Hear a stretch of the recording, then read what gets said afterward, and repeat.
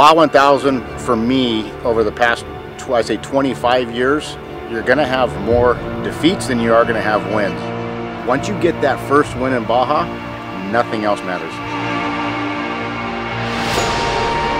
Can't let the can't let it get to you because there's a lot of miles, a lot of miles out there. Cameron has put together an incredible group of guys to run this year's Baja 1000, the Peninsula Run. This is the race we want to win. Well, we're racing against each other, but we're uh, we're teammates. You know, the camaraderie that and, and, friendship that we've gained, you know, over the last three weeks of pre-running together. Lots of miles. Uh, you know, worked on a lot of stuff together. The race course is always technical, always hard. It's man versus machine.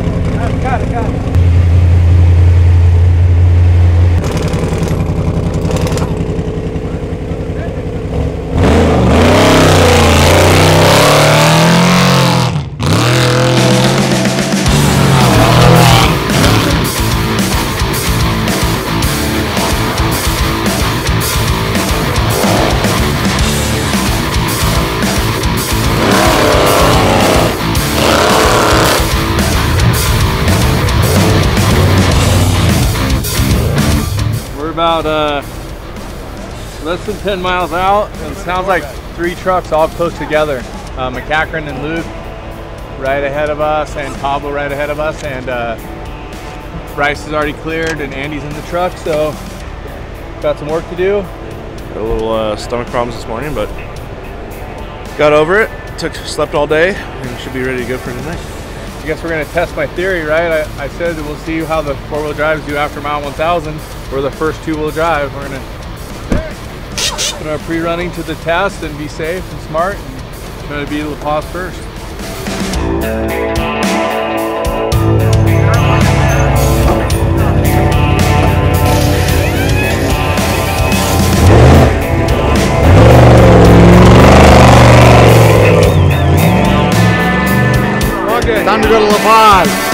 Halfway through.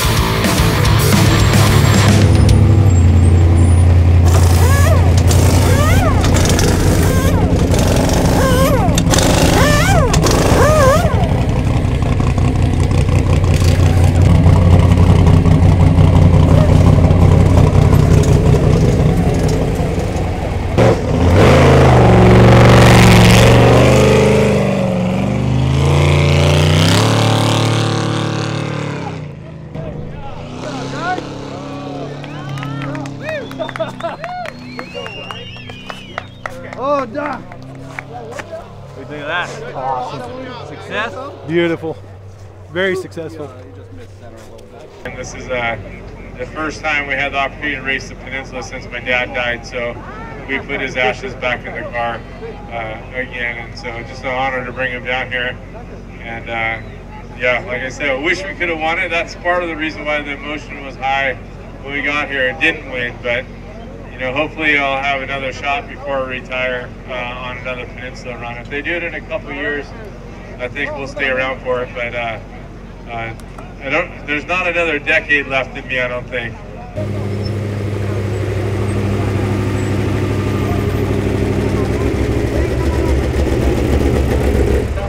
Well, the fun has wrapped up for the 16. We ended up on the podium, not on the position that we were hoping for. Of course, we've been planning since 2017 when we finished second on how to jump one spot forward.